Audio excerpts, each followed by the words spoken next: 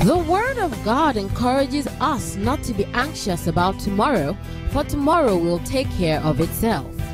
Are you filled with doubts of what tomorrow will bring? Are you troubled and feeling hopeless about tomorrow?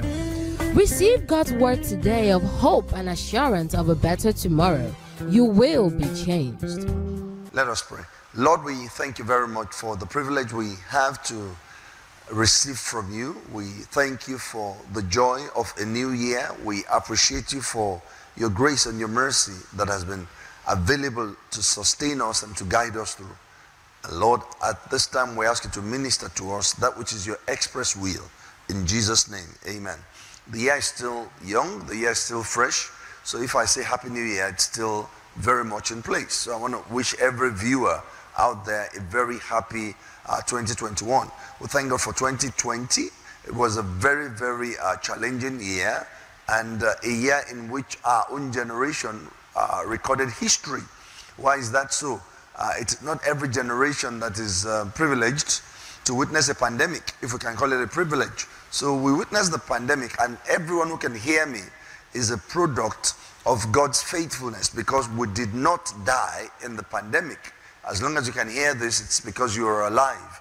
And that's because the Lord kept us some way, somehow, on account of His love and mercy. So I want to congratulate every one of us out there. Now, the year is still young, and so I'm sharing what I've called a winning strategy. What do you mean by strategy? A strategy is a specific plan tailored to achieve a specific goal. So, a specific plan for a specific goal. That's a strategy.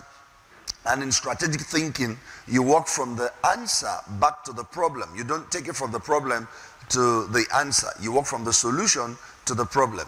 So, and God is a strategist. Now, we will do well if we all uh, embrace a winning strategy for the year 2021. Let's read uh, something from the Bible. But before we read, let me quickly say this that in life, there are always things to start. In life, there are always things to stop. In life, there are always things to continue. So, three things about life winning strategy. And we must embrace this strategy I'm talking about. You must identify the things you want to start this year or the things you ought to start. You must identify the things you ought to stop this year. You must identify the things you ought to continue. So, things that we must start, things that we must stop, and things that we must continue because that is the summary of life. Okay, now, what are those things uh, that we are to uh, stop? Or what are those things that we are to start? let's eh, bring out an essential nature of, of God the Father. Revelation chapter 1 and verse 8. It says, I am Alpha and Omega, the beginning and the ending. So I'm the start and the end. I am Alpha and Omega, the beginning and the ending, saith the Lord. I'm just reading the A part. Revelation chapter 1, verse 11, saying, I am Alpha and Omega, the first and the last. So God is the first, God is the last. So things to start, things to stop. God is the one. Now, what are we to start? We're to start things that are in line with the will of God for our lives this year. We're to start things that will take us to the destination we desire in our hearts to get to this year. We're to start things that we know are right, things that are noble, things that are noteworthy, praiseworthy, things that are virtue. We're to start them. What are the things we're to stop? We're to stop the things that don't glorify God. We're to stop being unfaithful.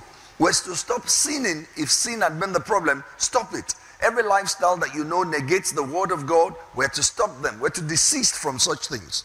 Uh, Hebrews chapter 10 and verse 26. It says, For if we go on sinning deliberately after receiving the knowledge of the truth, there no longer remains a sacrifice for sins. So we can't continue to sin and say grace should abound. We're to stop sinning because God expects us to be like that. And what are the things we're to continue? We're to continue to walk in love. We're to continue to be faithful. We're to continue to be diligent in things of God. We're to continue to love one another. We're, we're to continue to, to serve God with our lives.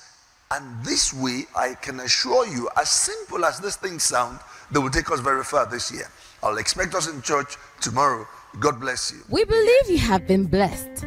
Join us at 9 a.m. tomorrow at Vine Branch Church, Queen School Road, Apata GRA, for a life changing experience in our glorious worship service. We are confident that with Jesus, your tomorrow will be better than today. Come thou with us, and we will do thee good. God bless you.